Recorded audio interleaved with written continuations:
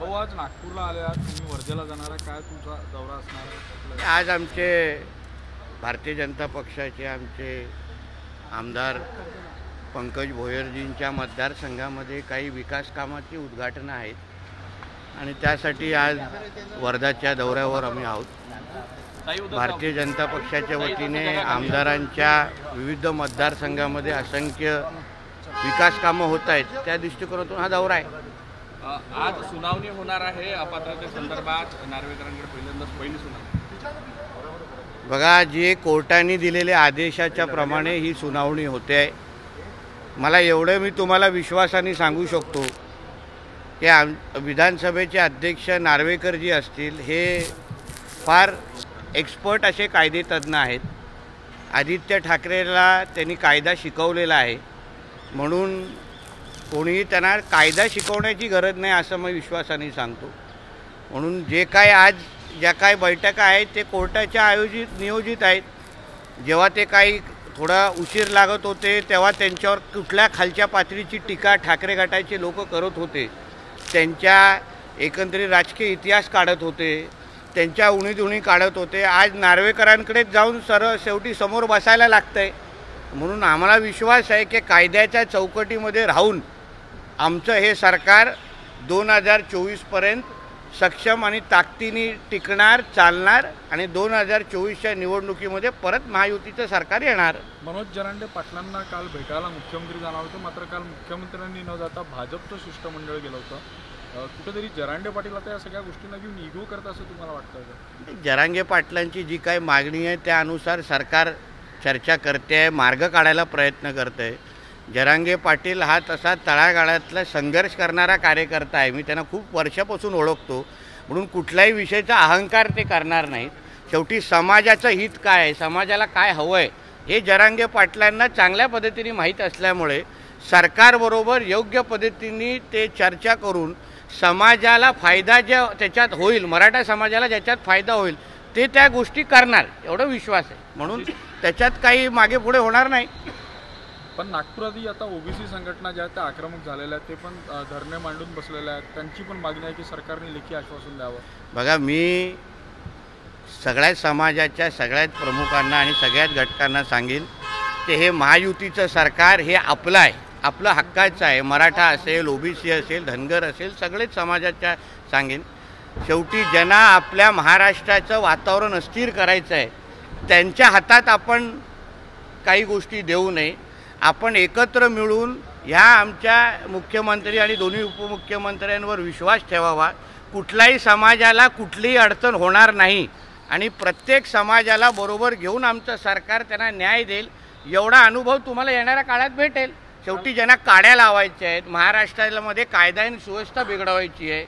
जे काही आंदोलनं होत आहेत हिंसक आंदोलनं होत आहेत त्याची थोडी तुम्ही माहिती घेतली तर त्याच्यामध्ये तुम्हाला विरोधी पक्षाचे उबाटाचे लोक त्यांना समर्थन करणारे काही ज्येष्ठ पत्रकार आहेत त्यांचे सगळ्यांची तुम्हाला पुरावे भेटतील. हे फार नियोजित पद्धतीने आमच्या देवेंद्र फडणवीसजींना टार्गेट करण्याचा हा कार्यक्रम सुरू आहे. बाकी काय नाही म्हणून सगळ्या समाजाच्या सांगेन की तुमचं हित आमचं सरकार बघणार. थोडा संयम ठेवा आणि सरकारबरोबर संवाद सुरू ठेवा. काल रोहित पवार नागपूर दौऱ्यावरती होते. त्यांनी मुख्यमंत्रीच्या व्हायरल व्हिडिओवर टीका केली आणि त्याचबरोबर आरक्षणाची आरक्षण जर मराठा समाज द्यायचं तर पन्नास टक्केची मर्यादा मर्यादा वाढवायला पाहिजे. त्यासोबत केंद्रासोबत बोललं पाहिजे. मात्र राज्यातलं ट्रिपल इंजिन जे सरकार आहे त्याचं मोठं इंजिन जे केंद्रातलं ते ऐकत नाही असं त्यांनी टीका काय आहे रोहित? काय पवार अजूनपर्यंत सिनियर के जीमध्ये आहेत. अजून शाळेमध्ये पण पोचलेलं नाही आहेत. जोपर्यंत अजूनपर्यंत मिशा आणि दाड्या पण त्यांना फुटलेल्या नाही आहेत. आवाजाचा कंठ पण फुटलेला नाही. थोडं आत्ता दांड्याच्या बाहेर आलेले आहेत. थोडं जग पाहावं अनुभव घ्यावा. पहिले टर्मचे आमदार आहेत. अजूनपर्यंत त्यांच्याच प्रणिती शिंदेताईंनी त्याच्याबद्दल काय बोललेले हे थोडं त्यांनी लक्ष घालावं.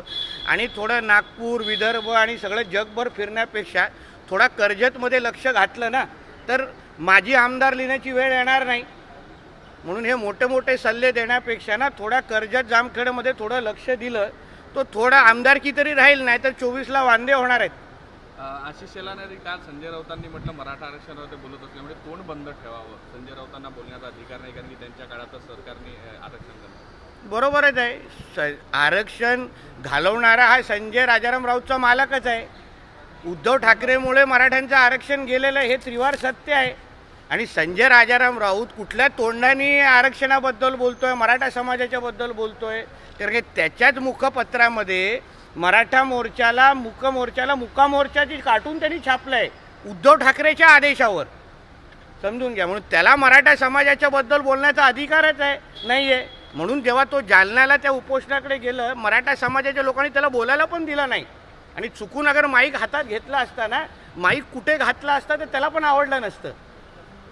काल मुख्यमंत्र्यांनी टीका करत असताना उद्धव ठाकरेंवर म्हटलेलं की त्यांना पाटणकर काढा देण्याची गरज आहे आणि त्यावर संजय राऊत यांनी काउंटर केलेला आहे की पाटणकर काढा वगैरे आम्हाला त्यांनी शिकवलं हे पाटणकर काढाचा अर्थ एवढंच आहे की पाटणकरांच्या नावाने जे काही त्यांचा मुख्यमंत्री आणि त्यांच्या अवतीभोवतीच्या लोकांनी गेलं सरकार हे पाटणकरांचं सरकार होतं ठाकरे सरकार नव्हतं. पाटणकराचं हित बघणारच गेलं ठाकरे सरकार त्याला म्हणतात. म्हणून पाटणकर काढा ज्या दिवशी उद्धव ठाकरेला पाजला जाईल तेव्हा उद्धव ठाकरे मातोश्रीचं पण बाहेर येणार नाही.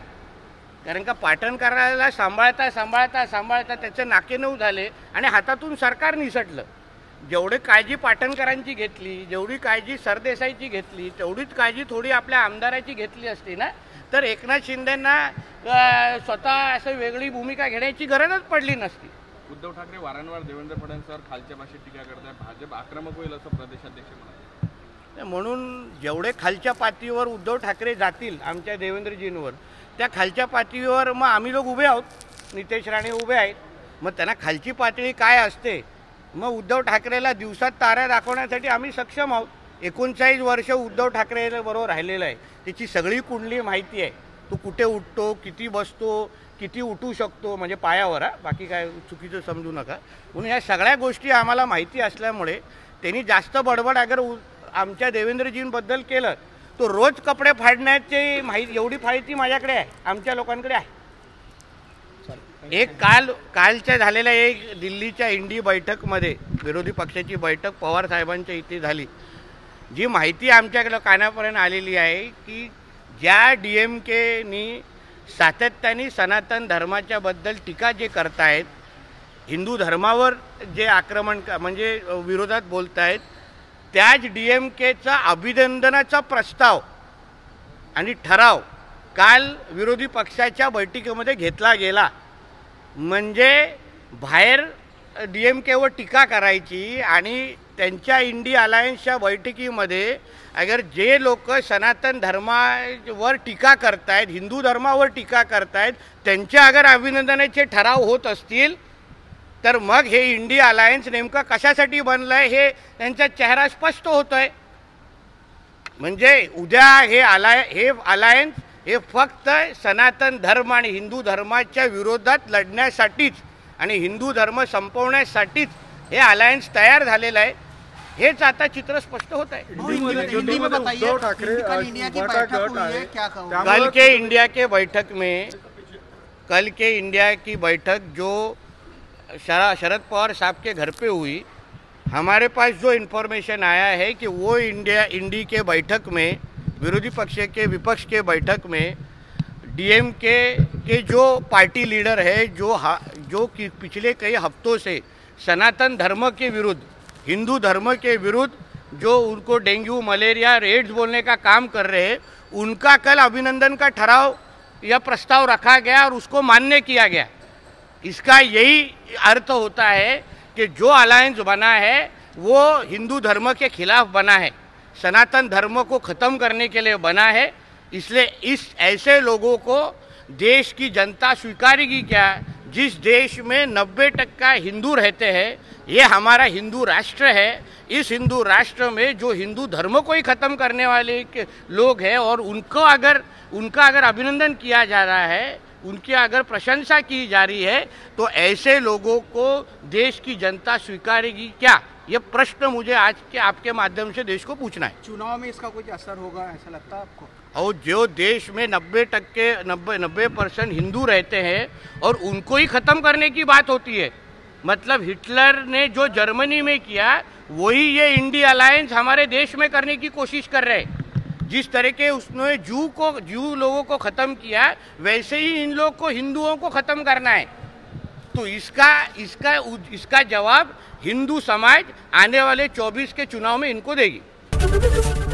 एबीपी माझा उघडा डोळे बघा नीट।